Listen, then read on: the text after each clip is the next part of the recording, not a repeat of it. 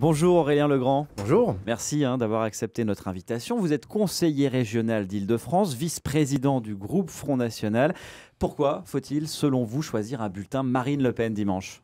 Mais je crois qu'aujourd'hui, notre pays est face à un choix de civilisation important. On a le choix entre, d'un côté, la mondialisation sauvage la plus violente, l'immigration massive, et de l'autre côté, le retour à la nation, le retour aux, valeurs de la France, ces valeurs qui sont incarnées aujourd'hui par Marine Le Pen, qui est, euh, donc, qui est la seule candidate aujourd'hui à défendre finalement ce retour de la nation, ce retour au cadre national et à sa sécurité, à sa prospérité.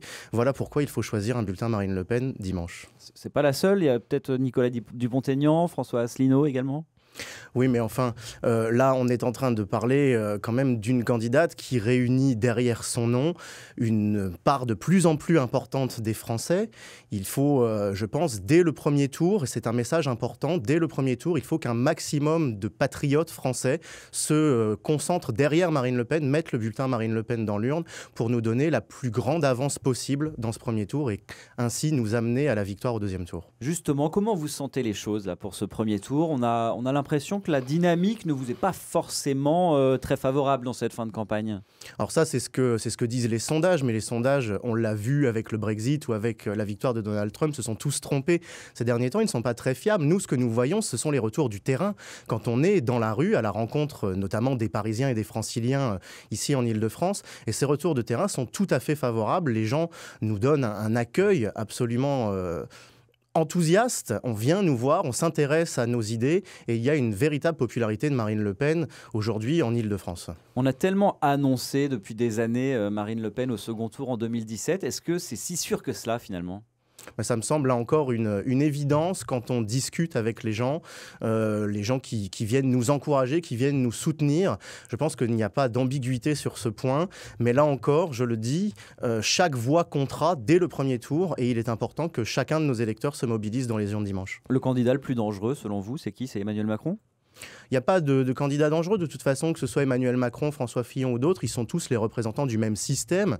On est vraiment ici dans un système interchangeable où l'un pourrait remplacer l'autre. Tous sont européistes, tous défendent l'Union européenne, jusqu'à Jean-Luc Mélenchon qui disait euh, justement très récemment, hier je crois, qu'il ne sortirait pas de l'Union européenne ni de la monnaie unique. Donc tous ces gens en fait appartiennent au même système. Nous sommes les seuls à avoir une voix différente, à porter la voix de la nation et donc de l'avenir de la France l'immigration, l'euro, vous pensez que ce sont vraiment des questions centrales aujourd'hui euh, en France? Ben, euh, L'euro est une question centrale dans la mesure où il a un lien avec l'économie et donc avec le chômage. Et je pense que euh, nos compatriotes sont bien placés pour savoir que le chômage est un des problèmes principaux de la France. Quant à l'immigration, je pense que entre la jungle de Calais, les migrants répartis dans tous les, les villages de France, chacun a bien conscience des problèmes qu'elle amène aujourd'hui, sans parler bien entendu du terrorisme. Aurélien Legrand du Front National. Alors, avant de devenir un cadre du parti, vous avez milité à la gauche de la gauche, hein, à la LCR, Absolument. au NPA, euh, passé d'un extrême à l'autre, c'est pas si fréquent. Hein.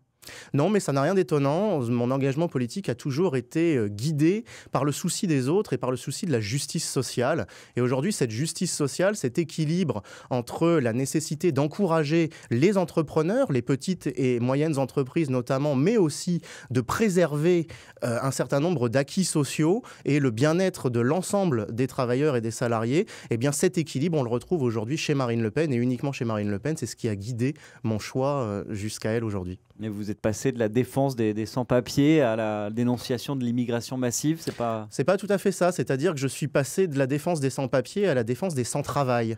Donc des gens qui, euh, qui n'ont pas d'emploi en France.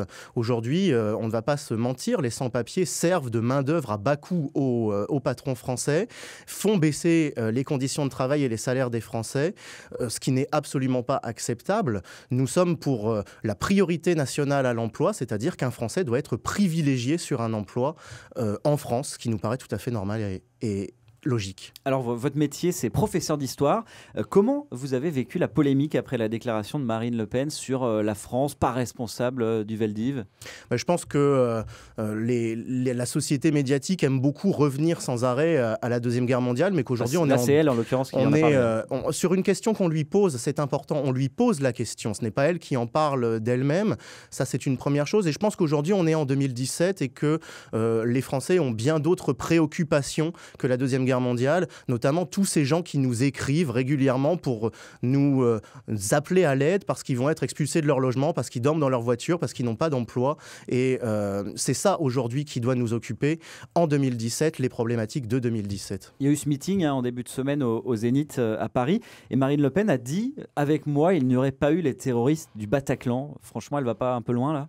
Ce qui est clair, c'est que avec la présidence de Marine Le Pen, et elle le fera dès le lendemain de son élection, les mesures nécessaires pour éviter au maximum ce terrorisme et d'une manière générale cette islamisation qu'on note dans certains quartiers français avec son corollaire qu'est le développement du terrorisme, toutes les mesures nécessaires auraient été prises pour empêcher au maximum ce, ce genre de, de douloureux moments. Rapidement, vous connaissez votre point de chute pour les législatives?